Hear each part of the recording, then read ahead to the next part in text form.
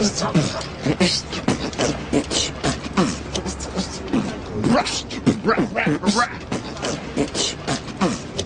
what's up, man? What's up, homies? Hello, brother.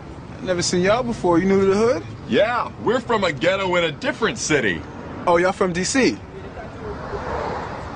What?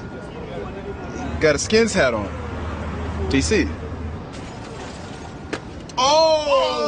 Yeah. Oh! Yeah, we're from a ghetto in D.C. Yes. But not like the CIA or anything.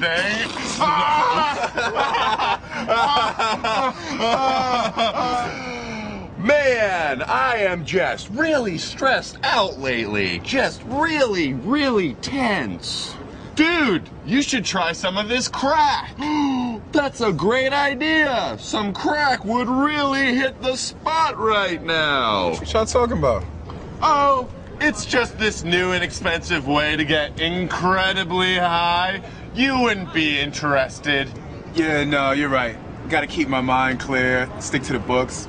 Trying to go to school in the fall. Yeah, it's just this new way to help you get into school this fall. You wouldn't be interested. Wait. This can actually help me get into school?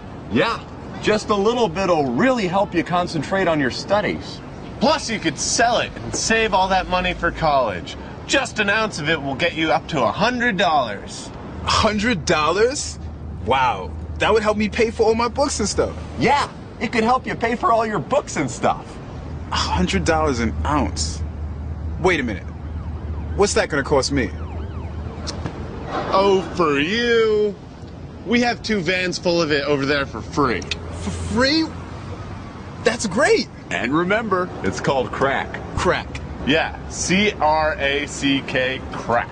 Here's a pager if you need any more. Wow. Guys, wait. I just I just want to say this is a blessing. I don't know if you noticed, but things have been kind of rough around here. Holding down three jobs, got a baby girl coming in May. I just wasn't sure how I was going to make it, but this is really going to help me get my life back on track. So thanks, guys. Thank you.